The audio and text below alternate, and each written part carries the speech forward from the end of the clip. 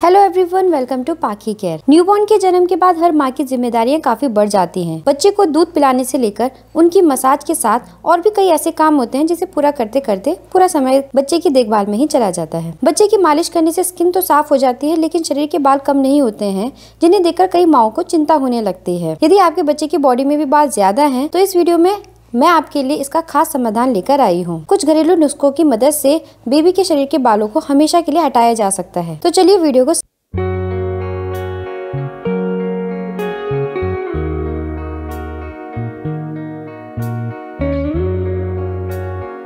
बेसन, दूध और एक चुटकी हल्दी पाउडर को मिलाकर इसका उपरण पेस्ट तैयार करना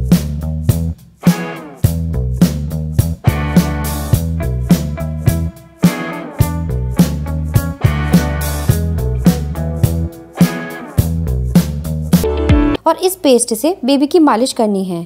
ऐसा रोज करने से शिशु के चेहरे से बाल पूरी तरह से हटने लगेंगे और ये उपटन पेस्ट बाल हटाने के साथ साथ मॉइस्चराइजर का काम भी करता है।